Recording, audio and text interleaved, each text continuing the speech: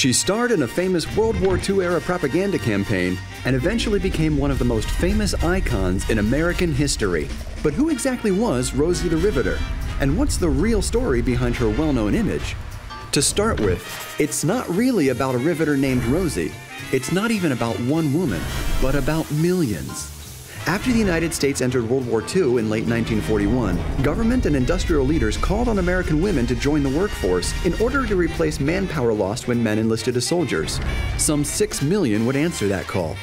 Between 1940 and 1945, the female demographic of the national workforce increased from 27% to nearly 37%.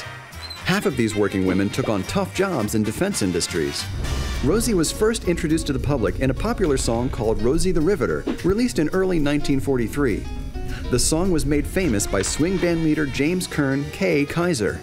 Norman Rockwell had undoubtedly heard the song when he painted a female riveter on her lunch break for the Memorial Day issue of the Saturday Evening Post that year.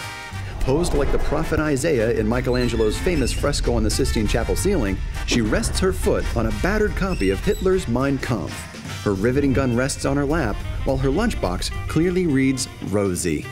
Rockwell's model was a dental hygienist named Mary Keefe, but was there a real Rosie the Riveter?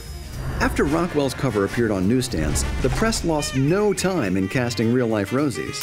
One of the most well known was Rose Will Monroe, who worked as a riveter of B 24 and B 49 bomber airplanes at the Willow Run Aircraft Factory in Ypsilanti, Michigan. Monroe appeared in a promotional video for War Bonds after a chance run in with a Hollywood actor filming at the factory. But Rosie the Riveter was bigger than just one woman. She was a symbol of the wartime work and sacrifice of millions. Though Rockwell's painting was the original depiction of Rosie, she is most widely identified with a different image. In 1942, the year before the Rosie song was released, the Westinghouse Power Company commissioned J. Howard Miller to create a promotional poster that would boost morale among its employees. The now famous poster featured a bandana clad woman flexing her arm muscles under the slogan, We Can Do It. Due to copyright restrictions on Rockwell's work, Miller's We Can Do It poster was adopted by the feminist movement of the 1980s as a modern symbol of female empowerment.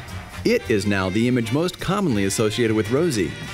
From wartime propaganda to feminist symbol, Rosie has remained a riveting icon in American history.